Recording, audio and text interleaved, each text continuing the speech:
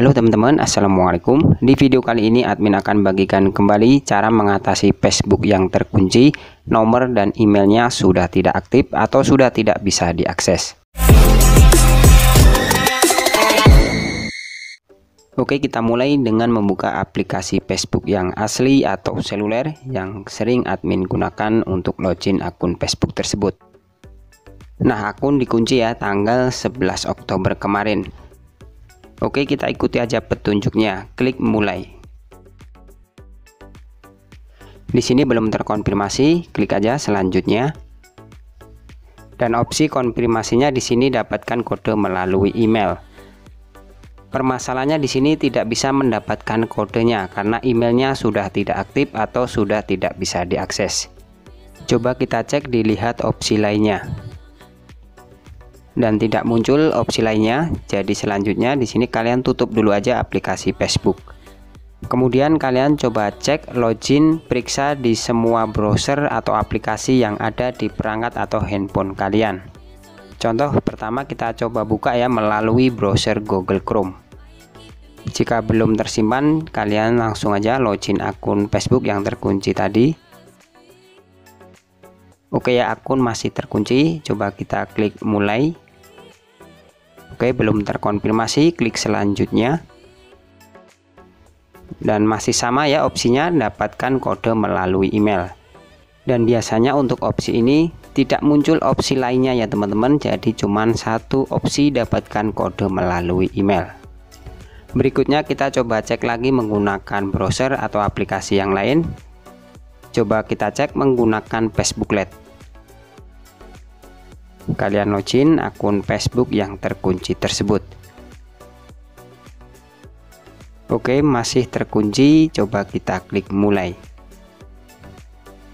Nah perhatikan teman-teman di sini sudah bisa dikonfirmasi. Artinya akun tersebut cocok ya atau book dengan Facebook Lite. Jadi tinggal klik selanjutnya otomatis akun bisa dibuka kembali. Kemudian jika belum bisa dikonfirmasi sudah coba login di semua browser atau perangkat Cara pertama, kalian coba cek lagi menggunakan VPN. VPN-nya apa aja, servernya apa aja, dan syaratnya gimana, kalian bisa cek di video sebelumnya bagi yang belum melihatnya. Kemudian cara yang kedua menggunakan WiFi. Jadi pertama kalian buka aja akun Facebook yang terkunci tersebut, ya contoh di aplikasi Facebook seluler ya atau yang asli yang tadi belum terkonfirmasi. Oke ya ini tadi ya akunnya masih terkunci. Selanjutnya di sini kalian tutup dulu atau hapus dulu aplikasi Facebook tersebut. Kemudian di sini kalian hubungkan dengan WiFi.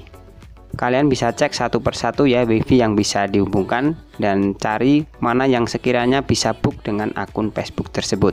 Jika sudah terhubung ke WiFi untuk datanya di sini kalian off kan aja.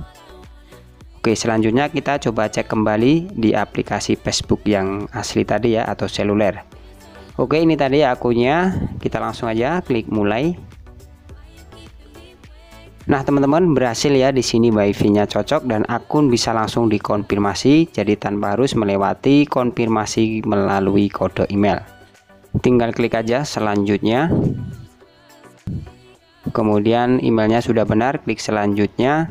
Nah tinggal kalian ganti atau buat kata sandi yang baru jika sudah, klik simpan perubahan, lalu tutup.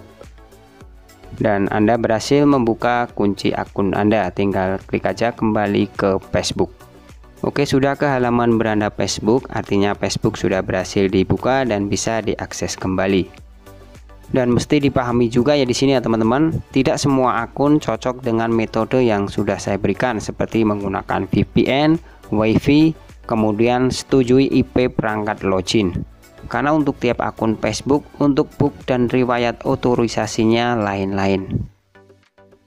Selanjutnya khusus untuk akun Facebook yang terkunci dengan opsi konfirmasi identitas menggunakan kode nomor telepon.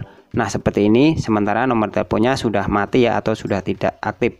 Khusus opsi ini selain cara tadi ada cara yang lainnya juga jadi tinggal klik aja dapatkan kode telepon Anda dan di sini nomor tersebut sudah tidak aktif atau sudah hilang atau sudah mati. Jadi tidak bisa mendapatkan kodenya. Oke, kalian coba cara lain aja, klik di sini, lihat opsi lainnya. Nah, di sini muncul bantuan opsi ya, jadi tinggal klik coba lainnya. Dan opsinya tambahkan alamat email dan konfirmasi unggah tanda pengenal.